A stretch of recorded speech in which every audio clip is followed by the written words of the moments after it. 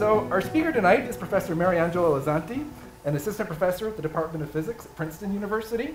You'll see that her accomplishments are so large that I need a cheat sheet to keep track of them all. Uh, she's been a star since she was a high school student. She won several awards. She was included in the MIT Technological Review's TR35 list of the world's top innovators under 35 in 2002. Uh, she did undergraduate studies at Harvard. then she moved to Stanford, where she earned a PhD in theoretical physics in 2010, working on topics including the physics of the Large Hadron Collider, the Higgs boson, and the particle physics of dark matter. From there, she went to Princeton as a postdoctoral researcher until 2013, where they realized that they couldn't possibly let her go, and so they recruited her to join the faculty there in the Department of Physics. She's uh, continued to win impressive awards, including a Sloan Research Fellowship and the Cottrell Scholar Award. Tonight, she's going to share with us some of her recent exciting research at the interface between astronomy and particle physics, using observations to learn about the mysterious dark matter that makes up most of the matter in the universe. All right, thank you so much, Tim. Uh, thank you, and, and welcome. Uh, thanks for coming out. It's such a beautiful evening in, in Aspen tonight. Um, so it's, uh, it's an honor that, that you've decided to, to come here to this lecture.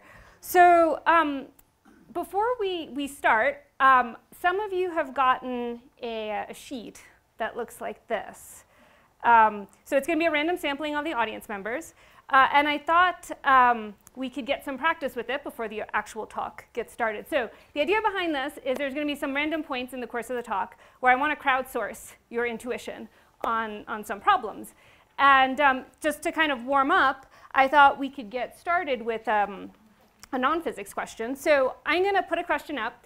And um, if you take your sheet, and uh, each answer is going to be a different color. So fold the sheet so that the color that's your answer is showing up in front, and then hold it up. And then I'm going to try by eye to sort of tally across the audience what our spread in answers is. So to start off, um, I wanted to learn a little bit about uh, you, the audience members. So um, show me red if you're a Colorado native, uh, green if you're from out of state, yellow if you're from out of the country, or blue if you're from out of the galaxy. Uh, all right, so a couple seconds to kind of fold. Wow, interesting. Okay, so majority is actually green, and uh, red comes in uh, thereafter. We don't have any aliens in the audience, which I was kind of counting on because then you could have helped me with the rest of the talk. Um, so welcome, uh, and uh, keep those handy because there'll be a couple other points in the talk where we'll, we'll use them. So as Tim said, what I want to do over the course of the next hour is tell you a little bit about the mysteries of dark matter, um, what it is, why we believe it exists, and how we're out searching for it. Um, the story I'm going to tell you really breaks down into three sub-stories.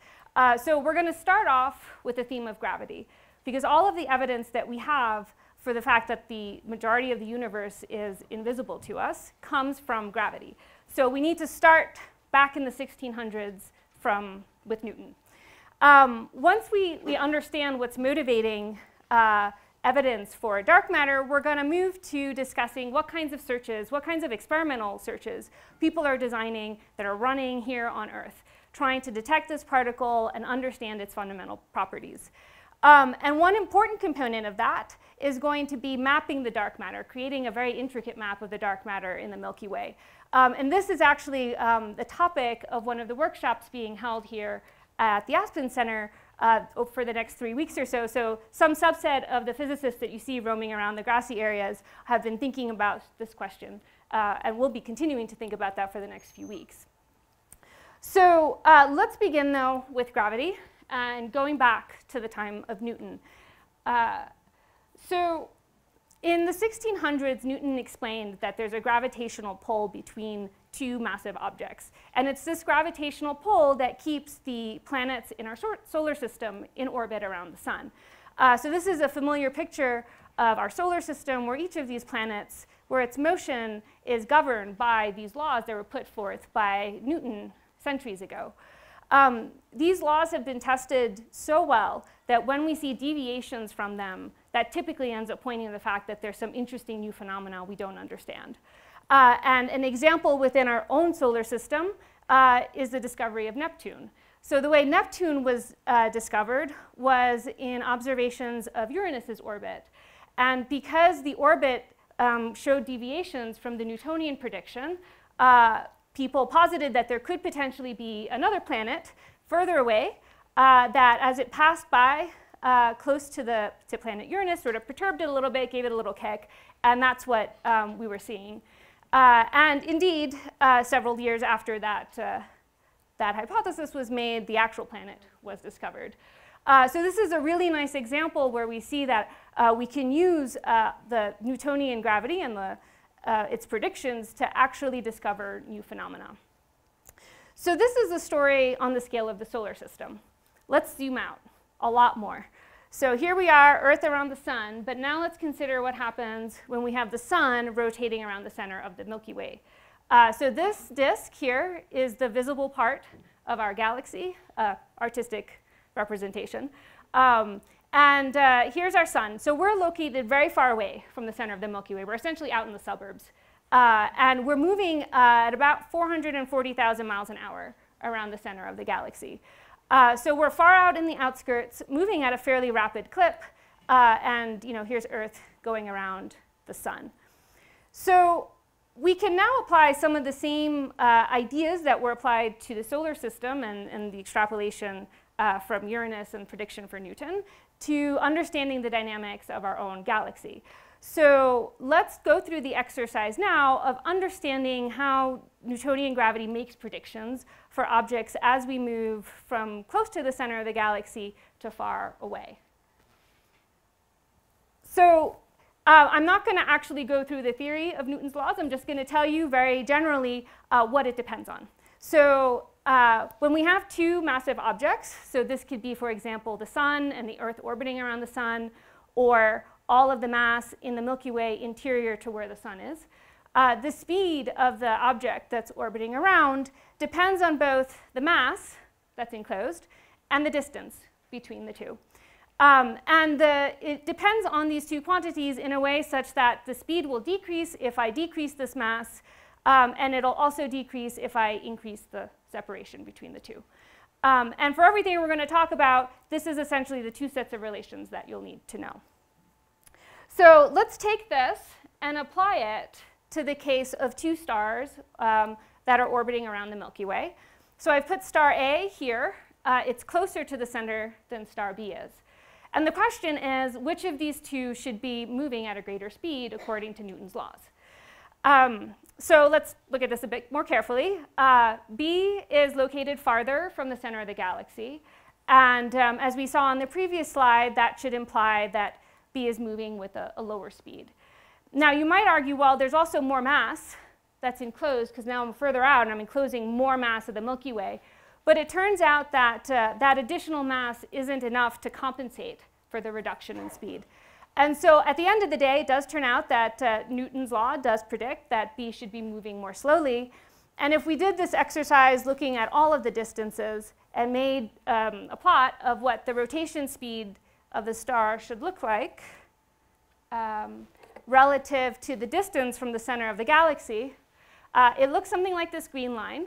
And so star A, which was located close, is around here, and star B is located there. So again, star B would be moving more slowly. So all that's been put into this green line is the basics of Newton's laws, essentially everything we know since the 1600s, and some assumption about how the mass in the Milky Way is distributed. So we're really relying on basic physics here. So this is our prediction. We can go out, we can do this measurement. Um, that's been done, and this is what's actually measured. Um, so instead of the rotation speed decreasing, it actually flattens out. Uh, and that's essentially telling us that the motion of any star that's located uh, out here on the edge of the galaxy is greater than anything you would expect from Newton's prediction.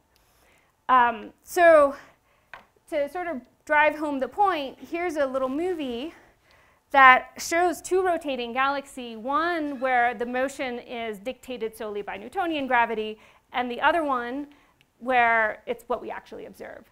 And so you can see very clearly here that the differences become quite striking when you look towards the edge of the galaxy, that the gas and the stars that are out on that outer rim are actually moving much faster. Now I want to underline that doing these kinds of measurements and observations is extremely challenging. So the first set of rotation curve measurements were done in the 1930s. And the first hints that there could be this sort of anomalous behavior was already there from, from that point in time. But the measurements just weren't good enough and nobody really believed them. Uh, and so it wasn't until the 1970s that the observations became really good. And that was really due to pioneering work by Vera Rubin. Um, and so she had several of these major papers that came out in 1970s and the early 1980s that really solidified this.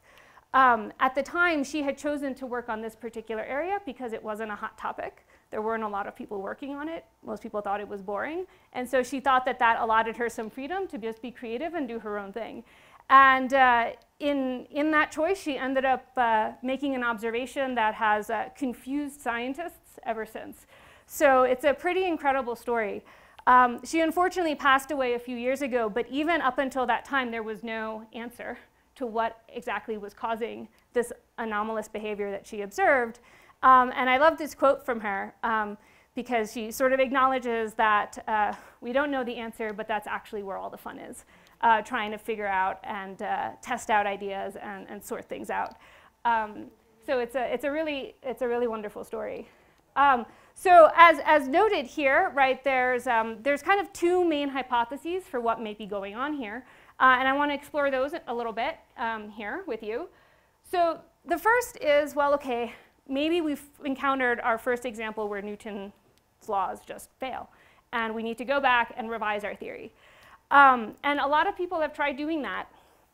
It just, it turns out that it's really hard to make it work with observations. So every time you write down a new theory, you know, you go off in your office, you scribble on a pad of paper, you get really excited because you have your eureka moment, but then the next step is you have to make some prediction and then look at uh, some observable and see if it's consistent with your prediction. Um, and so this has been done now with many modifications to, to, Newton's theory of gravity, and it turns out it's, it's a hard problem to make work given our observations. Um, there's a whole variety of tests that have been done. Um, one simple one that's sort of easy to, to describe is that in many of these modified gravity theories, they tend to predict that the stars near the sun should be moving with a large, uh, with large speeds. Um, so we can go out and measure the speeds of those stars, and it's a lot smaller than what's predicted from the, these, uh, these modifications. And so it's in the, these observations are, tend to be inconsistent with these proposed theories. Um, it doesn't mean that these theories are completely excluded yet. It may be that we just haven't had the right idea yet, but it seems hard to make this work. Um, the other option, if we're going to uh, say that it's not a modification of gravity, uh, is to go back to our thinking about Uranus's orbit around the center of the, our sun. Right? So there, there was actually some new thing, some new mysterious object that was causing the discrepancy with the Newtonian prediction. Uh, and we can posit the same thing for our Milky Way galaxy. We can say, well, okay, maybe there's just a lot more stuff out there that we don't see. So it's just a lot more mass. Um, and uh, we're ignorant of this uh, because we don't see it. So we come up with the creative title of calling it dark matter because um, it's dark. And um, this slide actually just kind of summarizes what we actually maybe know about dark matter. Um, we put our galaxy here in the center, and we draw a big halo around it, and we say this is all of the missing stuff. Um, now that trivializes it a little bit, but not actually that much, unfortunately. Um, so many of the, the, sort of models that were put out in the 1970s when uh, Vera Rubin's results came out um, for this distribution of dark matter are the same ones that we still use today. Um, and they're very simple. Uh, they're kind of like the simplest model you would write down when you're just starting to figure out how to tackle a problem. So in these kinds of scenarios, the dark matter halo is way larger than the size of our galaxy.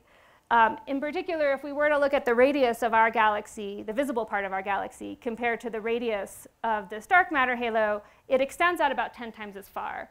Right? So that's telling us that the part that we can actually see is a really minuscule part of everything that's out there in the galaxy.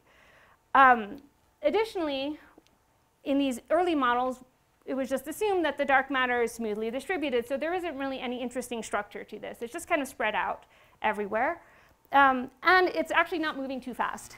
So about the speed of the sun, 440,000 miles an hour, which may seem fast, but on astrophysical scales is actually pretty slow. Um, so this is kind of boring, right? It's, it's moving around, not that fast, smoothly distributed. Um, no preferred direction of the motion. So essentially, you can think of this, if you'd like, as a gas cloud. So um, our galaxy is embedded in this gas cloud where all the little uh, gas particles are zipping around, um, not very fast, and not with very much interesting structure to it. Um, and so this is the model that's sort of been guiding us for, you know, decades now. And we can ask, well, why do we care sitting here in you know, this wonderful Aspen evening? Uh, well, we're actually moving through this cloud, right? So you're sitting in this chair in Pfluger Auditorium uh, on the surface of the Earth. The Earth is rotating around the sun, and the sun is orbiting around the center of the Milky Way. Um, and that just means that we're flying through this massive gas cloud. Um, so in the same way that if you're riding in a convertible and you put down the hood and you feel all of that wind like rushing against your face, that's essentially happening right now. There's a lot of dark matter that's rushing past you right now. Um, and uh, if we were to quantify it, it's about a billion of these particles that are passing through your body every second. So that's an almost uncountable amount. Um, so here's where I actually want to do the first, our first exercise with our handy dandy color cards. So I'm curious what you think of the following. So given the fact that there's so many of these dark matter particles that are flying through you right now, um, if you were to count up all of the ones that were to actually hit something in your body over the course of a year, uh, how many do you think that would be? Uh, do you think it's none? Uh, about 10 to 100, so some tens, a few million, or order billions. So I'll give you a second to pick your color.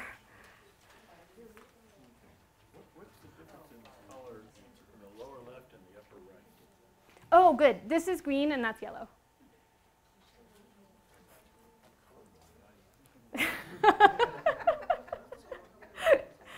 All right. Okay, so let me try to sort of tally, tally this up. We are, we are majority blue, billions. We have a few reds and a few greens and yellows. Okay, good. So you've all, you've all made your, um, You've all set your money behind uh, a particular color. So it turns out that it's about 10 to 100. Uh, so um, way less than the number that are flying through your body every second, like orders of magnitude less. This is a ridiculously small number. Um, however, it's not zero. And that makes physicists really excited because uh, this gives us hope. This is really hard. Uh, and physicists are stubborn, so even though this is hard, they'll figure out a way to go in and try to find these really rare events. Um, and so that sets us up for the second part of our story today. Um, you know, we're not going to detect dark matter. You're not going to detect it sitting here with your body, but maybe we can actually build something that is an ultra-sensitive detector that can um, notice when one of these really rare events happens, when one of these dark matter particles flies by and hits something. Uh, so, so let's delve into that. Uh, so here I've now replaced you with a detector. And actually, this is a model of one of the detectors that's currently running. Um, this is essentially a tank of xenon gas. Um, but there's a whole variety of these experiments that have now been designed and are running all around, across the world. And typically, um, you put these tanks at, underneath mountains or down at the bottom of mines. So if you wanted to go out and search in one of these experiments, that's where you should go to look. And the reason you put these experiments there is because um, these uh, events are so incredibly rare that you need to make sure that you put everything in an extraordinarily quiet environment where nothing's going to happen that could potentially confuse you and think you've discovered dark matter when you haven't actually. So what's actually happening at the fundamental level when a dark matter par particle flies into this detector? Um, and as particle physicists, we don't just want to say it hits something, we want to know exactly how it hits it. Um, and we want to break it down into its most fundamental components of that interaction. Uh, so in the language that we speak, we would be breaking down an atom into its uh, subparts. So looking, for example, at the nucleus. Um, but the nucleus is itself not the smallest uh, thing we can make. Uh, we can break this down into protons and neutrons, so that's designated here by the blue and the red uh, balls. Um, but protons and neutrons are themselves not the most fundamental particles that we can get. We can break those down even further uh, into quarks and gluons, which are denoted here as um, the little circles are the quarks, and the things that look like springs are the gluons. Um, and as far as we know today, we can't break down quarks and gluons any farther, but who knows? Um, maybe, um, maybe we can, and that's something that will be discovered in the future. But for now, these are uh, the most fundamental states that we know of in this picture. So if a dark matter comes in and passes through this, uh, what it can talk to are the quarks. Um, and it, it, talks to the quarks actually via uh, the Higgs boson, uh, which you may have heard about because uh, as far as particles go, it's probably one of the most famous ones. Uh, it's been on the front page of the New York Times. Uh, it was discovered at the Large Hadron Collider in 2012. Um, and it's very heavy, um, and essentially talks to every other particle we know about today. So you can think of it a bit like a, um, uh, like a Wi-Fi network. So when the dark matter particle comes in, um, it senses the Wi-Fi network. It could send a text message over to the quarks. Uh, quarks know it exists. Quarks text back and tells it doesn't want to be bothered, and so the dark matter just leaves. Um, and so in this way, this Higgs boson can mediate communication between particles, between other stuff that's not even the dark matter and these quarks and neutrons. But because it talks to everything else, it's not such a stretch of the imagination to posit that it's also going to talk with this mysterious form of matter that we haven't yet discovered. Uh, fortunately, when we want to make predictions for experiments and things like that, much of the details of these interactions are actually not that important. And um, this whole process where the dark matter particle comes in and bounces off um, essentially follows any intuition you've had if you've played pool. Um, so if you've hit two balls against each other, uh, especially if they're billiard balls where the collisions are very clean, you have all of the intuition needed to understand what's happening uh, inside these detectors. Uh, so the basic idea is as follows. Uh, we have some dark matter particle started off way off in our halo, flies in um, through Earth, down beneath our mountain, into our detector. It hits a nucleus. Um, that collision is just like two balls colliding on a pool table. And so the nucleus recoils, bounces off, the dark matter flies off in a different direction. Um, however, unlike the pool example where you can see all of the balls that are scattering against each other, in this case, remember that the dark matter is invisible to us. Um, so if you were observing this kind of interaction, what it would look like to you is some nucleus sitting still, and then out of nowhere, it just starts moving. Um, and it you know, moves off in some direction, and will, you can either see it as like a flash of light, or maybe you'll see it as a very, very small vibration in the detector. Um, this is actually a, a, visualization of what this process would look like in a tank of hydrogen, uh, not hydrogen, xenon. I don't know where I said hydrogen. Um, so here's the dark matter You can't see that technically. But now it's hit a xenon nucleus, and what you're seeing is all of the light created from that collision and that interaction. Um, and so if you surround this tank by really sensitive detectors that can pick up on these flashes of light, you might have some hope then of, of seeing uh, such an interaction occur. So um, the rate at which this happens depends a lot on just how much dark matter is near us, right?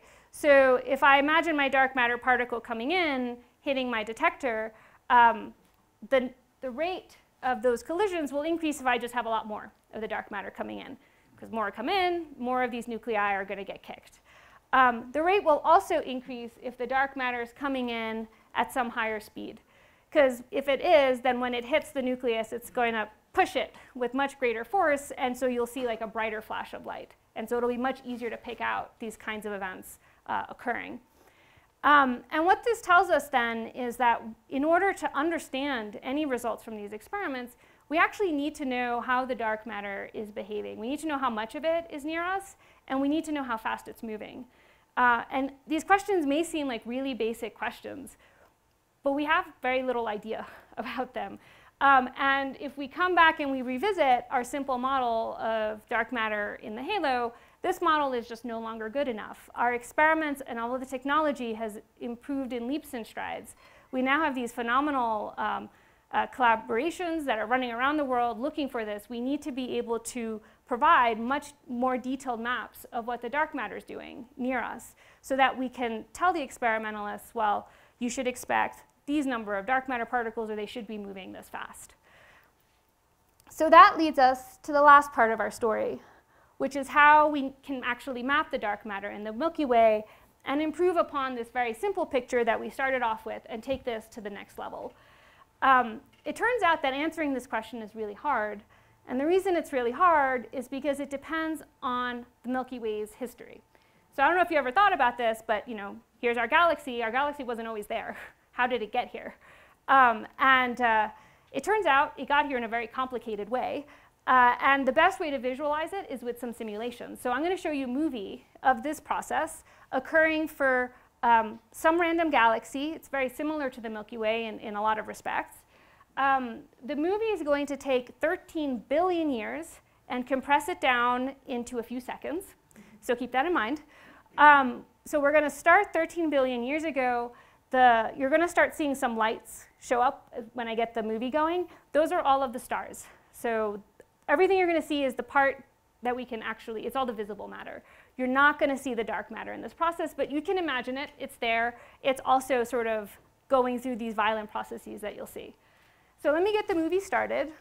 So remember, 13 billion years ago, um, we have these small clumps of stars, and they start merging together. So each of these kind of things that you see flying in are very small galaxies.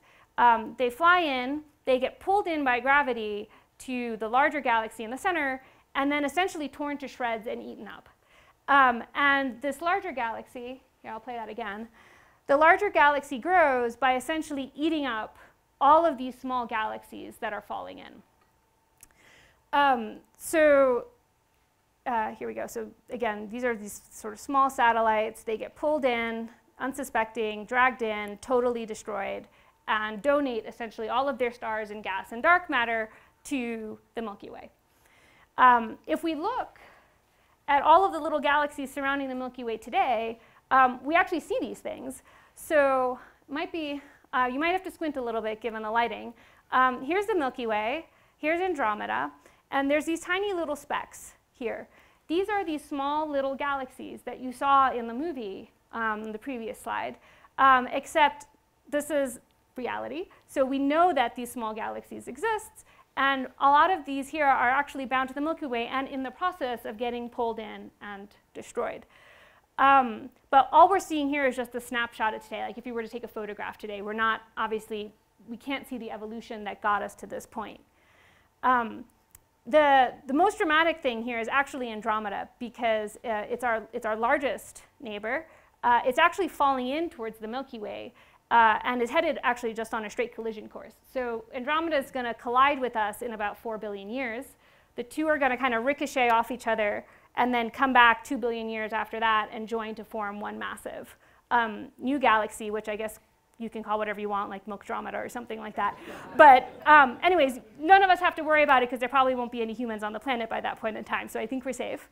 Um, but suffice to say that starting from the photograph of our local um, outer space neighborhood today and, and pushing it, fast forwarding it, and seeing where everything ends up is actually a lot easier task than rewinding and seeing how everything got to this point in time. Um, and that's actually what we want to do. We want to be able to figure out all of the stuff that happened uh, in the past, you know, over 13 billion years that got us to this photograph that we see today. Um, so uh, our task is to build our family tree.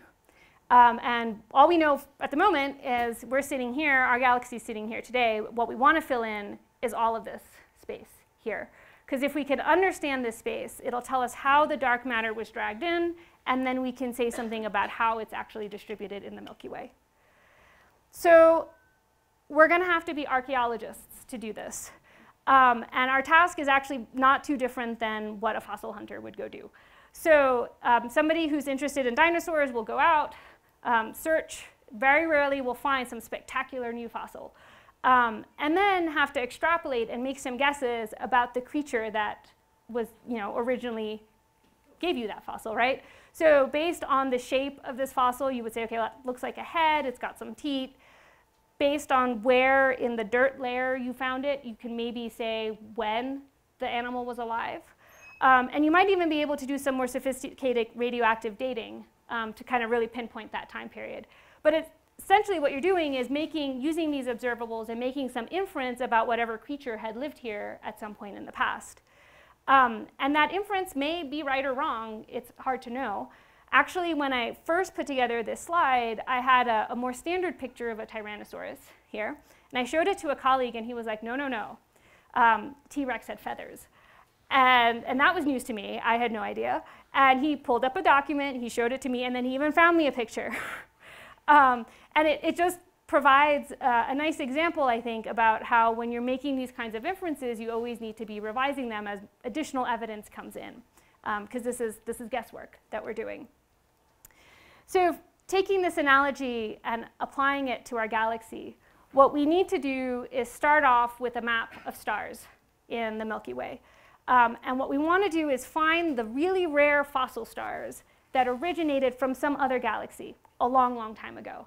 And when we find these really rare fossil stars, um, we can then start making some inferences about how it got to the Milky Way. And in that way, build up the family tree. So in this case, because we're dealing with stars and not bone fossils, um, what we have to work with is the position of the star, its velocity, and its chemical properties. Um, and so taking these things together allows us to make these inferences. Um, and in that way, build up the, the, the family tree for the Milky Way. So we're very fortunate because um, in order to really be able to do this and to do it well, you need to have a lot of stars. Because um, again, these are really rare fossils that we're trying to find. Um, and in 2013, uh, this uh, Gaia satellite was launched. Uh, this is a project from the European Space Agency. Um, and uh, Gaia is set to essentially revolutionize our mapping of stars in the Milky Way. So this movie is showing its launch.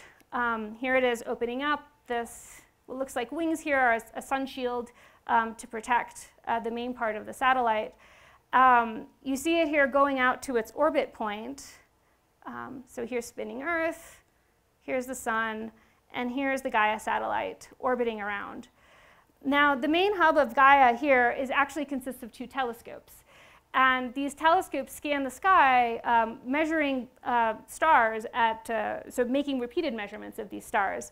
So in that way, it can actually track how the stars move over a period of time in which it's doing its observations. Um, so Gaia is set to map about a billion stars in the Milky Way, which is about 1% of all the stars that are out there. Uh, and this is just um, far greater numbers than anything we've had to work with in the past. Um, to put this in perspective, I thought I'd show this little uh, uh, graphic um, because you know, the, the desire to, to use uh, information from stars in our galaxy to learn something both about our galaxy and where we fit in it is something that was there from you know, the Greeks. Uh, so, but our ability to actually do these measurements and to do them well has increased dramatically over time. Uh, so on the top row here, this is starting from Hipparchus, so BCE. Um, these fuzzy blobs show the precision with which we, they were able to identify the location of the stars on the sky. Um, and so you can see that moving here, this is 1437, and then going up here, I think that's like early 1800s, um, the, our ability to actually identify the position of the star in the sky improved. So the size of these blobs decreased. Um, by the mid 1800s, the next challenge was identifying how far away the stars were from us. Um, and that's, the errors on that were huge. So these lines here are indicating the errors on these distances. Um, and you can see now as we move to, to more recent times, those errors have decreased. And by the time we reach Gaia, you can't actually see them anymore. Those lines are actually there, but they're so small, they're hidden behind the little star images there. Um, and so it's just kind of spectacular in this context to see how far we've come from you know, the first mappings of the sky, both in our ability to identify the locations of the stars and also to quantify their motions. Um, so with this level of unprecedented data, we can now come back to uh, our question about the Milky Way's family tree and start answering some questions. So I'll walk you through two uh, sets of events that uh, we now know have happened. Um, so we've, these are essentially our relatives, so good to get to know them. Um, so here's our Milky Way today. We know that about 3 billion years ago, uh, it started eating up another galaxy called Sagittarius. And this is a little uh, artistic representation of this process. Um, the Milky Way is still digesting Sagittarius, if you will, so it hasn't completely finished eating it up. Um, and we can see all of this. So here's a, um, a movie I'm going to show you of the Sagittarius galaxy falling in. Um, that's our rotating Milky Way disk. And as it falls in, the gravitational pull from the Milky Way is so large that it just starts tearing Sagittarius to shreds. Um, and uh, because this process is still evolving, we can actually make out all of the stuff, all the stars that have gotten stripped off of Sagittarius in the process.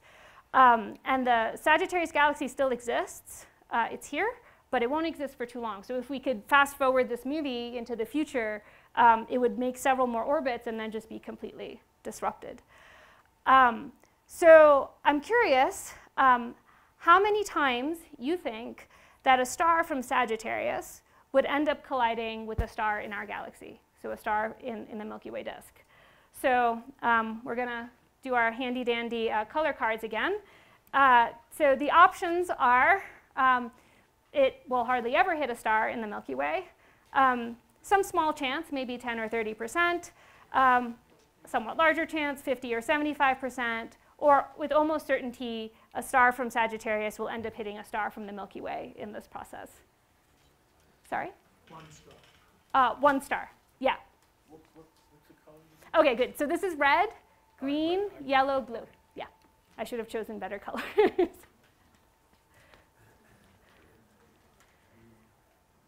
okay. Cool. All right. So majority seem to think negligible. We have a few small, 10 to 30 percent. Um, it does turn out that it's totally negligible. Um, and the reason for that is that the stars in both our galaxy and in, in others are, are spaced apart at such great distances um, that essentially when you have these two galaxies pass through each other, the stars just pass right through each other. So any chance for a collision is, is totally minuscule. Um, so that means we don't need to be worried about Sagittarius star hitting our sun or anything like that. Um, but we can ask uh, what happens to the dark matter in all of this process, because the movie I showed you before only showed what the stars were doing, but both our galaxy is surrounded by this massive dark matter cloud, and also Sagittarius is surrounded by this massive cloud. Um, and so here I'm showing you It's the same cloud. uh, two different clouds. Two different. Yeah, so that we have our own Milky Way cloud, and then the Sagittarius galaxy has its own cloud. And so you can imagine these two clouds sort of passing through each other. And again, the probability of any interaction is really small because it's almost exactly the same as the stars. Um, and so this image here is the result of a simulation that actually tracks what the dark matter is doing. Um, and so you can see, so the, the white part here are the stars that have gotten torn off. That is essentially the movie I already showed you. The darker part is the dark matter. Um, and so we see that like just in the same manner that the stars have all of this interesting structure from our galaxy eating up Sagittarius, so too does the dark matter, because um, we are inheriting some of the dark matter that's gotten stripped off of this galaxy as it's fallen in. so the study of these stellar streams is an area of very active research. Um, I've given the example I gave you is probably the most spectacular one, um, but there's a, a, lot more of these that are actually known. Uh, this is actually this is data from the Sloan Digital Sky Survey of the northern sky. And um, you can actually see here, they're labeled, it's sort of striped with all of these streams. Um, so it's, it's kind of incredible when you look out at the night sky and you see that there's all of this structure that's out there. Um, so here's Sagittarius, it's the biggest one. Um, but there's these other ones here, so this is referred to as GD1 and Orphan, this is Palomar 5. Um, not all of these uh, originate from, you know, will be associated with dark matter, but some of them will. And so we expect that if you were to put on your dark matter goggles and look at the same picture, the dark matter would also be striped in the same way from, from these kinds of merger events. And one of the areas where the Gaia satellite is expected to make some really big um, improvements is in, in mapping these streams and, and understanding their dynamics in a lot more detail. Um, so that's a very exciting and very active area of research that's ongoing. Um, but we can also push further back in time. So if we go back now another 7 billion years, um, we know that now there's a, we have an older relative here, so a grandparent, if you will. Um, this was actually only discovered a few months ago, uh, and almost immediately after the second major Gaia data release. So it's a beautiful example of how when you have a big step forward, an improvement in observational, um, in observational uncertainties, all of a sudden you start seeing new things. Um, and, and with that step in, in early April, all of a sudden folks were able to make out that there was actually another relative uh, that crashed into our galaxy about 7 billion years ago. Um, this one's a lot older. So a lot of the really nice structure that you could see with Sagittarius um, has already gotten washed out with this. So I'll show you a simulation of this, but it's not going to look as, uh, um, as eye-grabbing as the Sagittarius merger. Um, this is essentially a top-down view of the Milky Way disk, and with the black here indicating all of the stars in the Milky Way disk. And you're going to see some red clump fall in now. Uh, there it is. Um, and so this is our relative. Fell in, made a few sweeps, got completely destroyed and eaten up, fully digested, unlike Sagittarius. And this is all of the stuff it's left behind, all of the stars. Um, we can look in simulations uh, to try to understand what the dark matter from these kinds of mergers is doing, and the dark matter looks very similar. So again, we have, we see that there's all of this really interesting structure that's getting left behind by all of these galaxies that the Milky Way ate. And based off of that structure, we can make inferences about our family tree. So those are the two examples I was going to give you today, but you can see that we're already starting to fill in this picture. And as the data continues to improve, uh, I mean, this is, we're going to, there's going to be a lot more branches here. It's going to be, we're going to fill it in and it's going to be pretty incredible. Um, but even already with these few steps, um, we're already starting to revise our picture of what the dark matter looks like. Because um, now, once we understand how things were dragged into the Milky Way, we can map how the dark matter was dragged in. And so we can take our really old model of, uh, you know, our original model of the dark matter and evolve it. And we see now that it has all of this incredible structure to it. Um, it's no longer this sort of vanilla picture where you know, it's kind of like an amorphous gas cloud. In this new, you know, with this new mapping, we see that there are clumps and streams and lots of really interesting features that are there. So this is a huge step forward and is only going to continue to get to improve with all of the advancements coming from Gaia um, in the next few years. Um, so with these new mappings, this fills in a big gaping hole for our understanding of uh, what we expect to see from experiments that we build on Earth. So remember, right, our picture is we're sitting here flying through this dark matter halo. Um, when some particle flies through Earth, hits a nucleus, we see a detection. Um, now we actually have some much, a much clearer prediction for the properties of the dark matter starting off with. So we have a much better idea of how much of it was there and also how fast it was moving.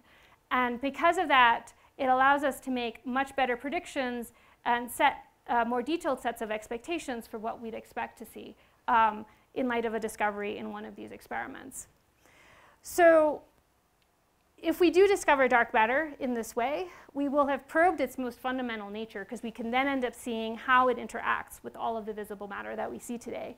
And that would be one of the first indicators that we've extended our current knowledge of all of the fundamental particles to include um, something new. So this graphic here is showing all of the particles that we currently know of. The Higgs is sitting here in the center.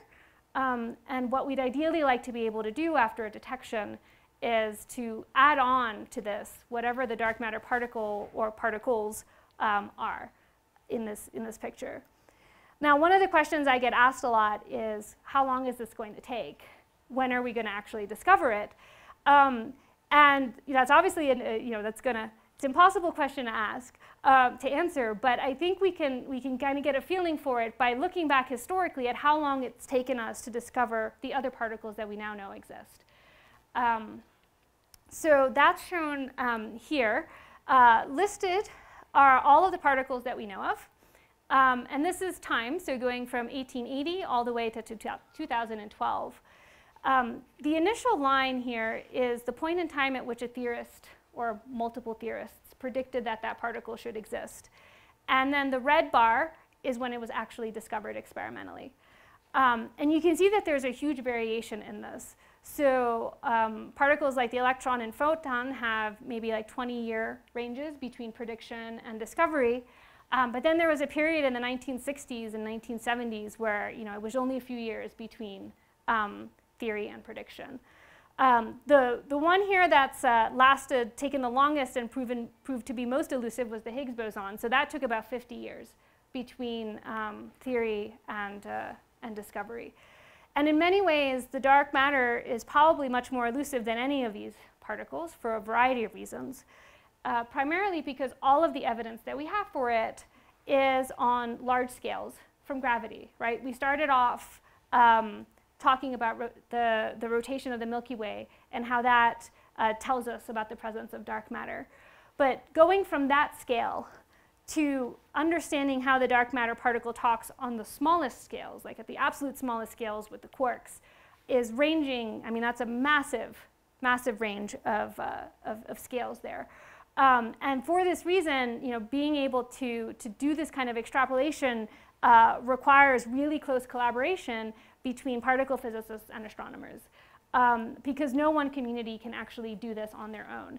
And in the same way, because we, want it, we need to probe these massive scales, it's not going to be one single experiment that's going to tell us the answer. It's more likely going to be a combination of experiments that we're going to need to run in order to really pin down the, the nature of this particle.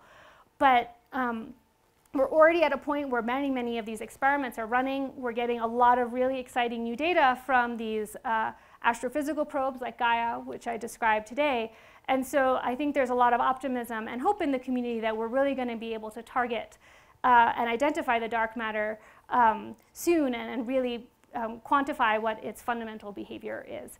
And so hopefully at that point in time, there will almost certainly be another public lecture in this very room telling you about the discovery, so you should stay tuned uh, for that, and hopefully it won't be too far in the future.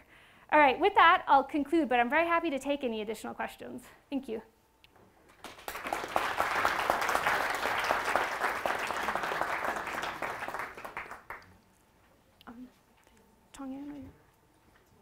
Uh, I mean, I can do it if you don't. It's up to you. Okay. Um, all right. I'll, I'll take questions. All right. Yes?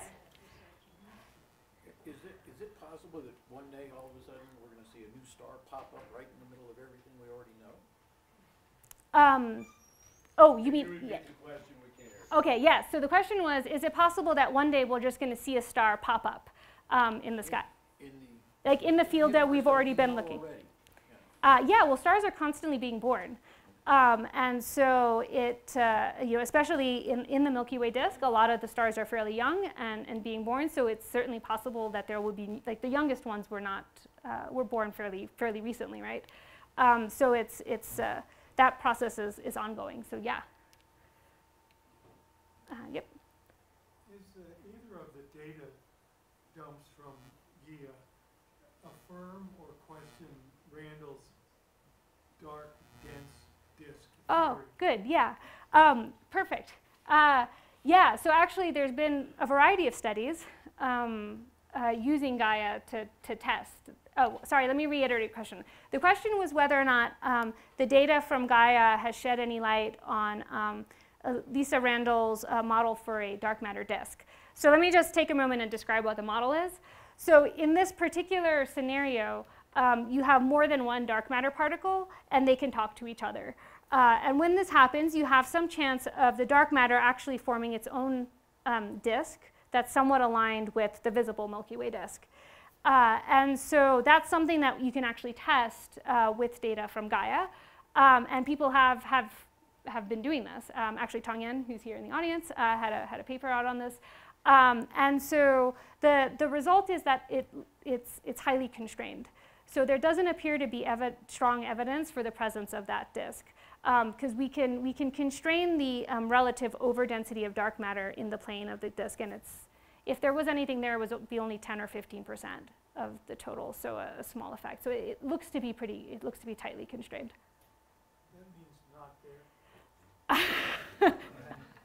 Um, in, its in the model's simplest manifestation, not there. Yeah, yeah. Yep. You, you showed a chart that showed the difference between the Newtonian prediction of the speed of rotation and what actually is, was observed. And my question is, is that difference between, on, on the chart, between the prediction and the observation, uh, yes, that Yeah. is why, why is the difference between prediction and observation, why does that increase based upon the distance from the galactic center? In other words, if, if the amount of dark matter is sort of uniform and in fact the halo is Mhm. bigger than the galaxy itself, why should that difference increase based upon the distance from the galactic center? Yeah, that's a really good question. So, so the question here is when we look at the Newtonian prediction, which is in green, and we look at the measured, which is in, um, is in pink, um, and if we interpret the fact that you get this flattening here as being due to a, a massive dark matter halo, why is the uh, distance between the, the pink and the green much larger here at, lar- at greater distances versus here near the center of the galaxy? Um, and so the reason for that um, has to do with the distribution of baryons in the Milky Way. So as you go closer to the center, you just end up getting, um, there's a lot more uh, mass of the visible stuff, so the gas and the stars.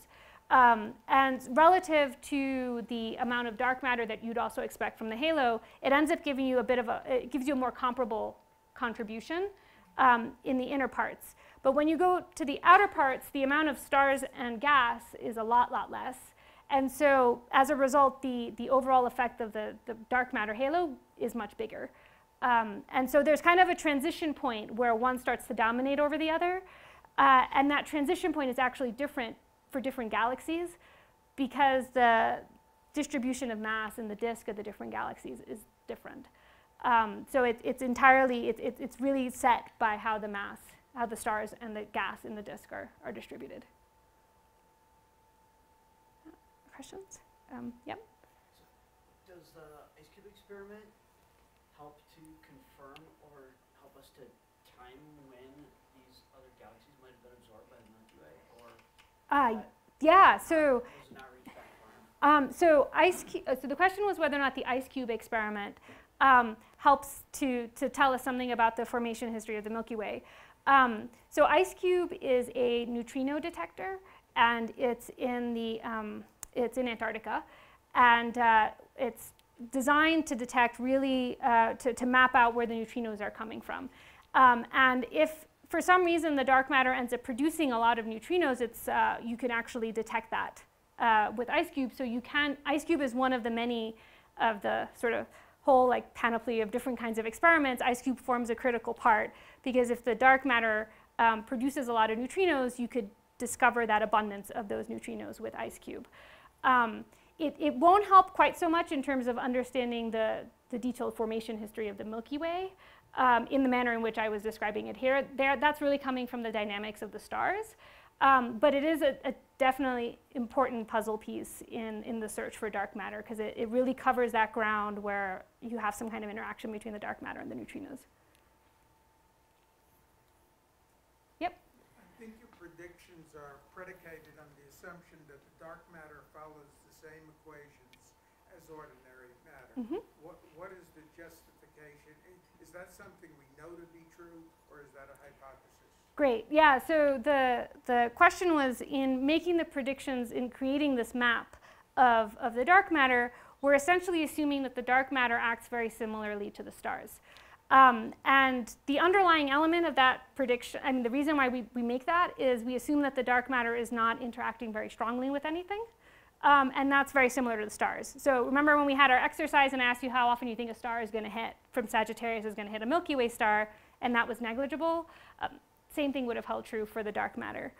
Um, that's the predominant dark matter model. There can also be variations on it. So you can have more complicated scenarios where the dark matter um, might behave differently. So if it, if it interacts more, if there's more than one dark matter particle and it interacts, they interact between themselves. And um, I think it's an interesting open question to ask how the story changes. Um, a lot of these simulations are just starting to get to a point where we both have stars and like self-interacting dark matter in them. And so that's something that, that I think is going to be addressed in the, the next few years because we'll, we now have the tools to really be able to answer that. Um, I think that's it. Yep. Oh, did I, I miss one? Yeah, there's, yeah. Okay, so we'll, we'll come back. Yeah? How is the possibility being ruled out that uh, dark matter isn't just normal matter that we can't see like brown dwarfs?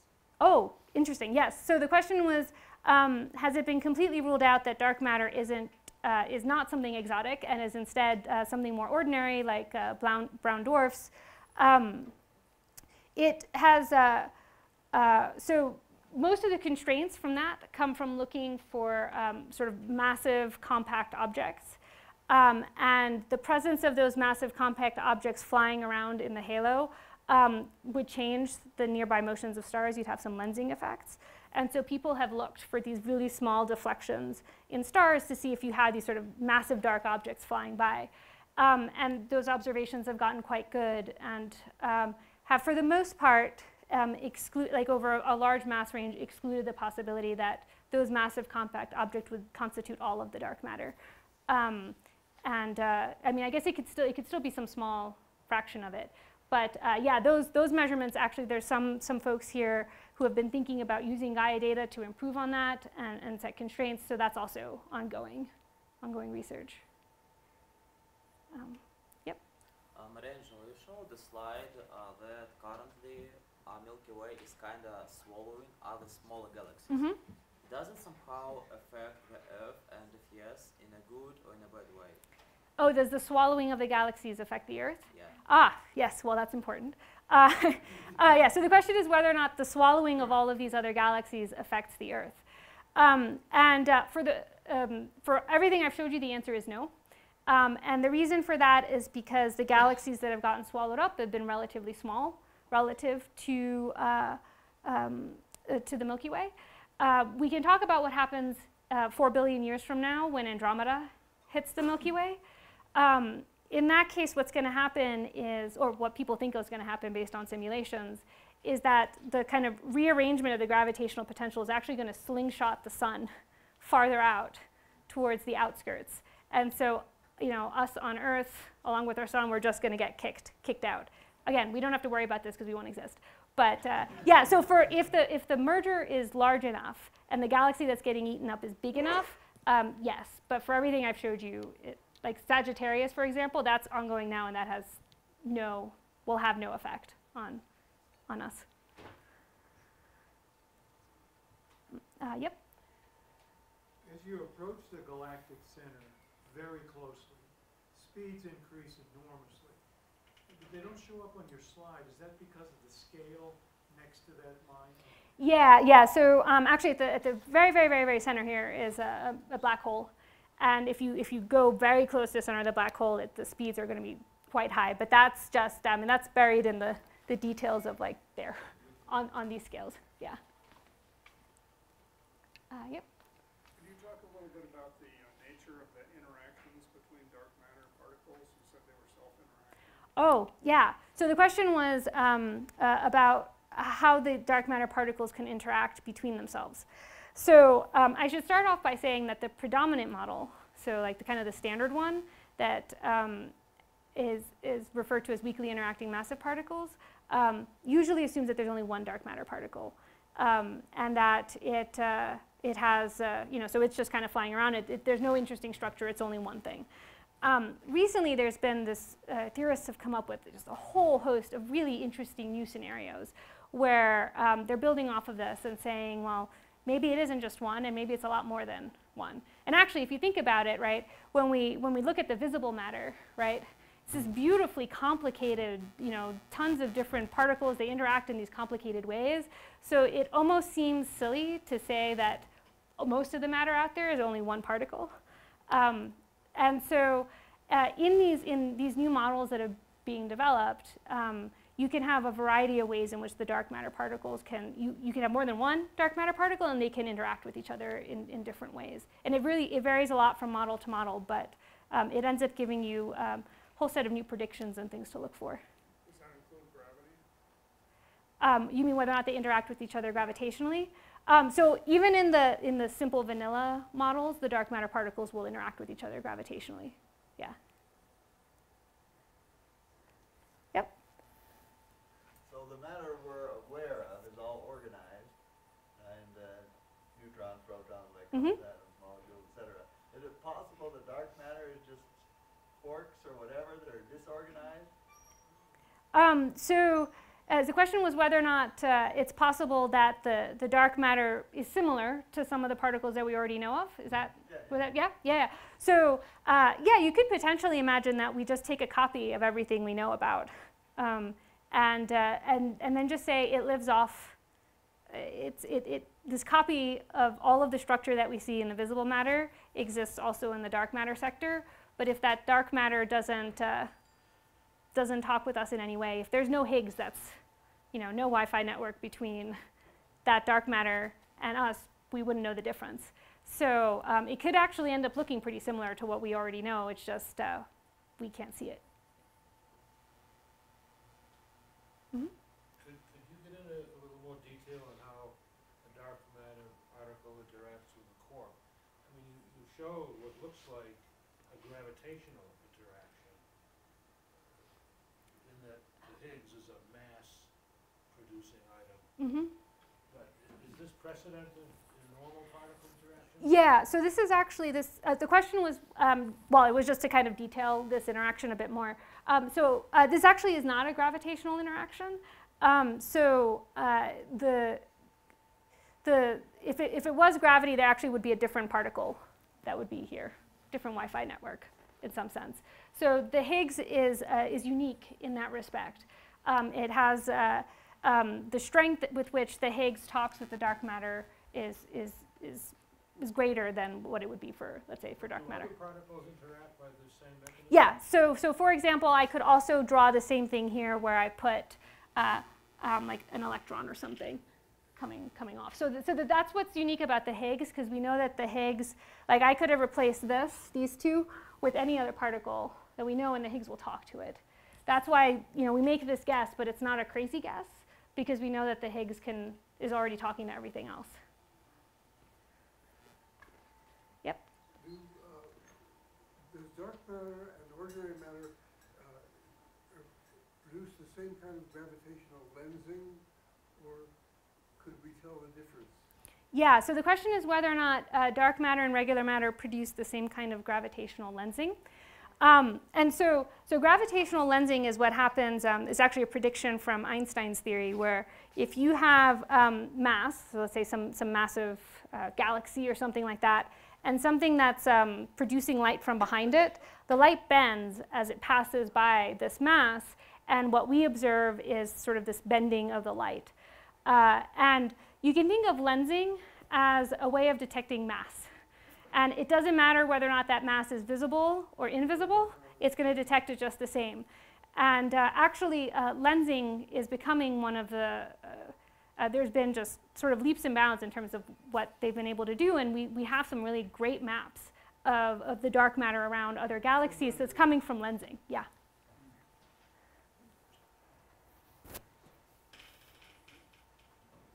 Yep. Uh, does dark matter exist in space beyond the halo around galaxies?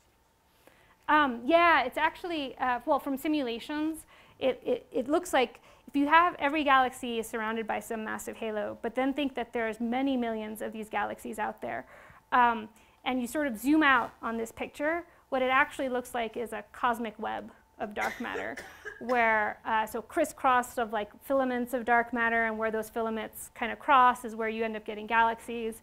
Um, and so there's this, actually there's this beautiful structure on very large scales where you zoom out so that you look at all of the galaxies uh, on the sky.